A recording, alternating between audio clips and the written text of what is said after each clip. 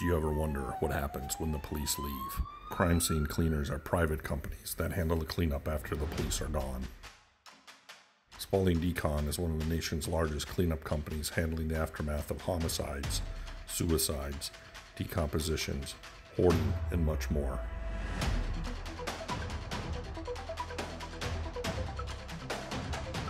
These are our stories.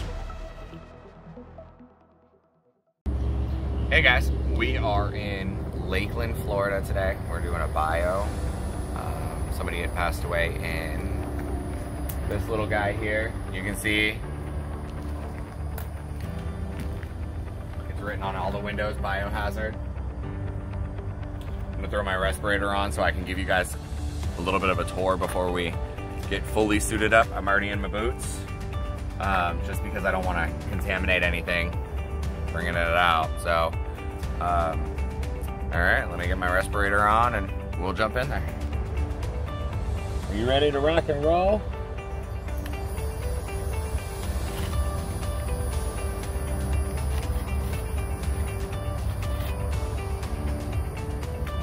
I just kind of want to, I want to be able to open cabinets. Uh, I want to be able to kind of move a few things around while I'm recording so that way you guys can kind of see what I'm seeing. All right, let's do this.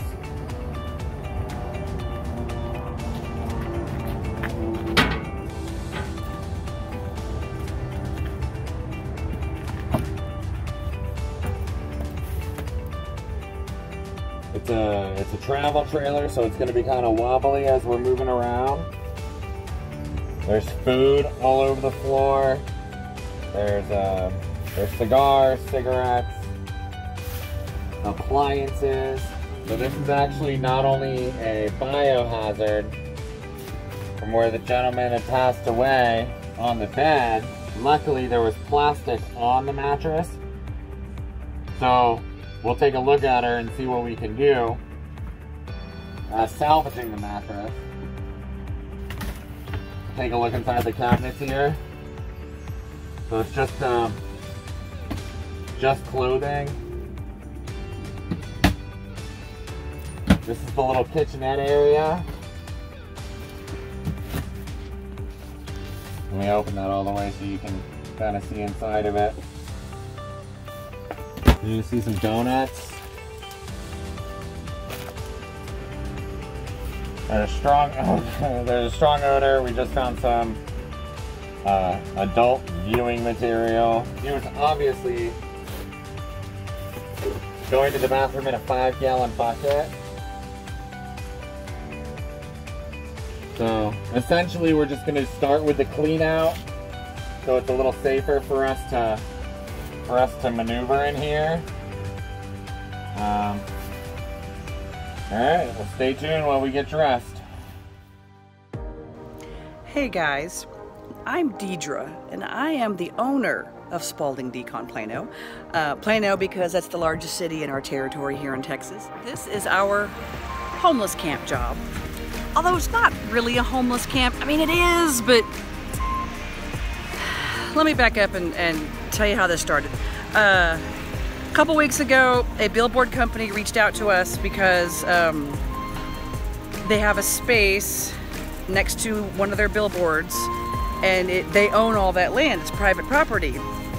Well, maybe they've been getting in trouble with the city, I don't know. Uh, but when we saw the space, it's full of trash, clearly from illegal dumping. Clearly. Just the mountains of it, how ground into the ground it is.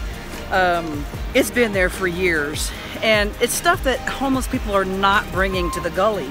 It's broken furniture and uh, a neon sign and stuff that, that illegal dumping has been putting there.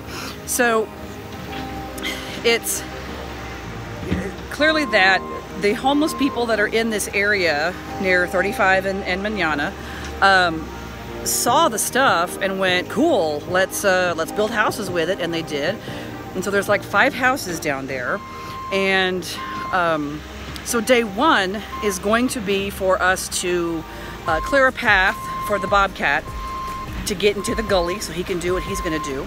Oh, so this is Moose. He is our longest uh, technician with Spaulding Decon. He is uh, Spaulding Decon Plano. He's been with us uh, the entire time since we've opened. Um, Moose, what do you like about working with this I love people and helping people out and servicing the community because it's always an adventure and it's always different kind of work and I really enjoy helping people. Day one was pretty hectic for me because we didn't have a uh, we didn't have a, a bobcat so so day one was pretty hectic so we had to do everything full labor carrying heavy stuff and back and forth but um, the funnest part was when Bob came along to be honest with you because as soon as he came in everything got easier it was more of an adventure teamwork and we just kicked butt today. So Deidre was actually mistaken. I am the longest running tech, not Moose. I'm way better than Moose and much taller and more handsome.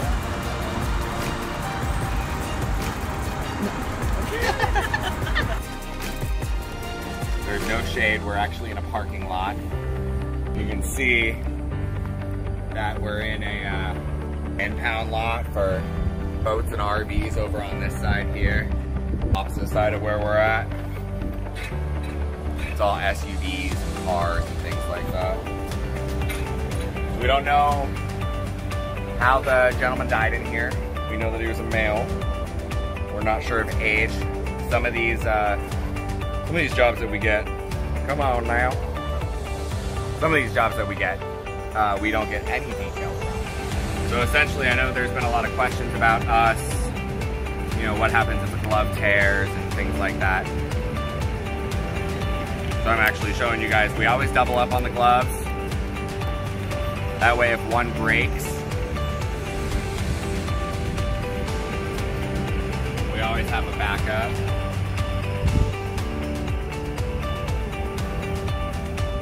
I don't want to get any hazardous fluids on my skin or anything like that.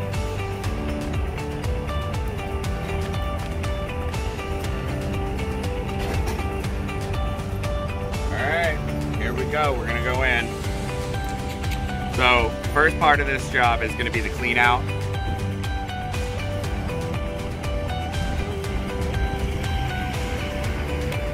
Second part is going to be the disinfecting.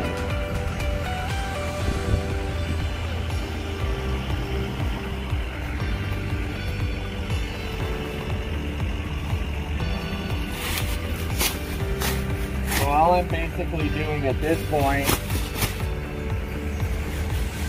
is tagging up the, the stuff that we know is not a biohazard.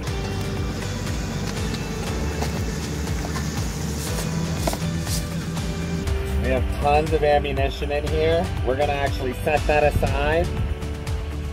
We're gonna take that to the sheriff's department for proper disposal.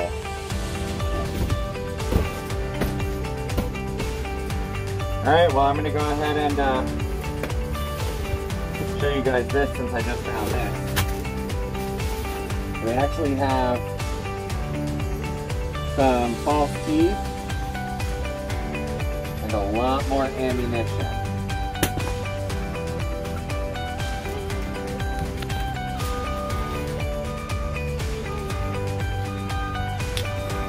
I'm gonna gather all of this stuff up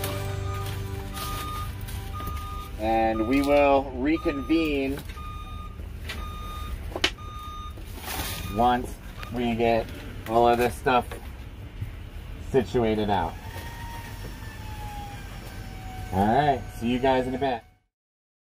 Hey guys, we are on day two of homeless camp removal. And I tell you, it's really like 90% illegal dumping, 10% homeless people. Look at all that debris. Oh my God. We, uh, we smartened up and got a bobcat to come help us today because it's bad. There's a lot of stuff here. Uh, we've been fortunate to have up to seven workers every day. Uh-huh. Uh-huh. You, may have seen the before pictures. The mountain is intimidating, but uh, if you think about it being all spread out over about 50 yards of, of area, that, that's I mean, that's the Bobcat guy's not bringing in new trash. This is all the same trash that was here. But it sure does seem like he's bringing in new trash. So uh, enjoy the cleanup of this job. We're gonna be here all week. Uh, how's this job been? Oh, this one's the worst. four days. Horrible. What makes it so horrible? It's so hot outside. Like all the direct sun. It's like a giant outdoor hoarder house, but in direct sunlight. Uh, With poop all over the place. At least they kind of segregate the poop in regular hoarder houses, but not here. it- has there been anything entertaining about having to work on this project? Uh, there's a little bit of homeless drama. That's kind of fun. Sneaking up on people smoking meth. A little dirty ass out here, bro. Please stay on my shit, Africa. Brothers and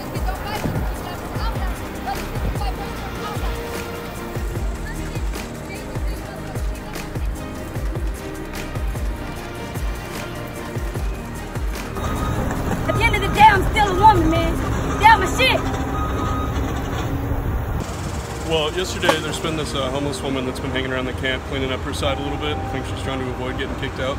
So she was talking to us a little bit and uh, seemed friendly enough. So we go for break. We're sitting in the back of the van. We look over and suddenly this woman is completely naked. And uh, happened to be the exact same timing that one of the other techs was wandering over to hand her a water bottle.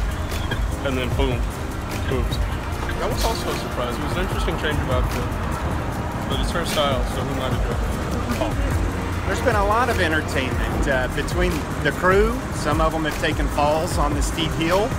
Uh, some of them taken falls in the parking lot. Um, and then we had some great entertainment yesterday with a couple of the folks that live here in the parking lot. And uh, a lot of yelling, a lot of cussing, and a lot of uh, claiming their territory. Oh, that was one of the funnest moments. Uh, Dee found an entire thing of glass uh, Baby Ray's barbecue sauce. She threw it into the pile, and the very next time Bob the Bobcat guy came by, he took that bottle and it stuck on the teeth, and when he squeezed, the barbecue sauce shot all over him like a cannon. The crew was just laughing. Bob didn't know what the heck had hit him. Jumped out of the Bobcat and goes over to the truck to try to clean himself. And he's wiping himself clean with Armor All. Um, so yes, Bob is a man because he doesn't use baby wipes, nothing. He uses Armor All. Uh, for the homeless camp, uh, I felt really bad tearing down the homes and everything because there's not much that I really can do for my part. But uh, I'm just helping the community by cleaning the gully and keeping it clean, stop pollution, you know? So we're back in here. Had to do a Tyvex change because it was drenched. It's rained, so the humidity is really, really peaked up. We went ahead and uh, stripped the bio off of the bed. Thank God there's nothing else on the bed. It was it was saved by plastic. We're gonna venture into the refrigerator. This terrifies me. The refrigerator always, always scares me. It's already hard to breathe in these things, but I would rather breathe hard than vomit all over the place because of a smell. I'm gonna just get myself ready to go.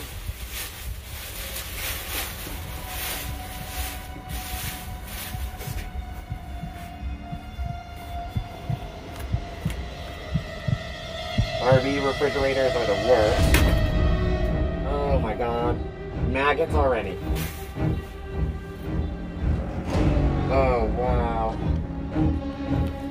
At those.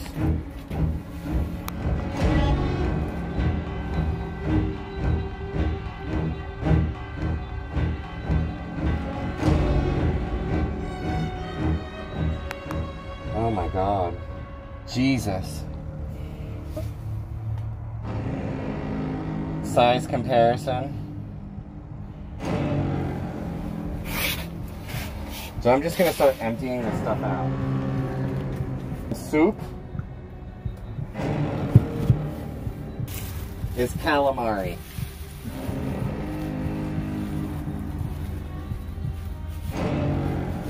That is exactly why it smells so bad.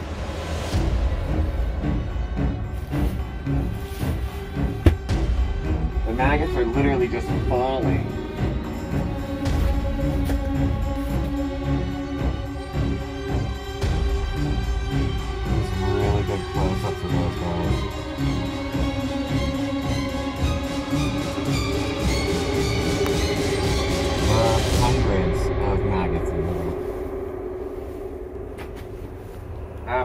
Hundreds of magnets.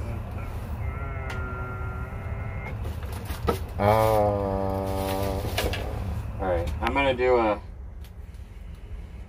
I'm gonna do a glove change. Just because my hands are to the point where they're really, really, really slimy right at the moment. Alright guys, well stay tuned for the after. I tell you, I had a lot of fun. Um, the thing I look forward to every day is what new are we going to find today? Some examples. Well, we found a lot of adult DVDs. Uh, we found a lot of needles, uh, dirty needles. Um, we found some adult toys. Um, and, you know, we found some great trash. You know, my whole career I've kind of sat behind a desk being a being a corporate guy and so doing some manual labor is always good for a guy.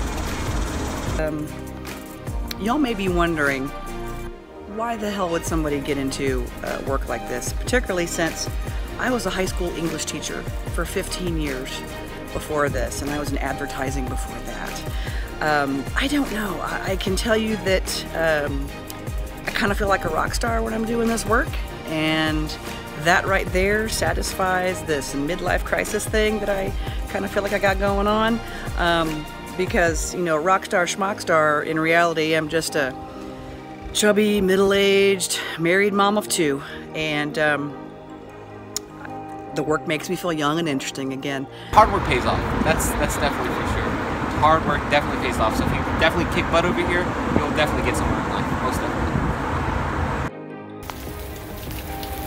Alright guys, it's pouring rain out. Or after.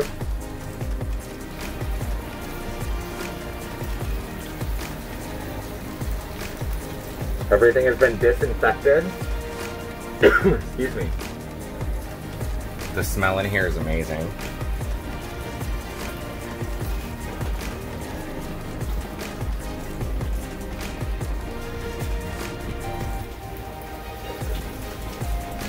The bed. No more bio. Where we found more bio. It is pouring rain out.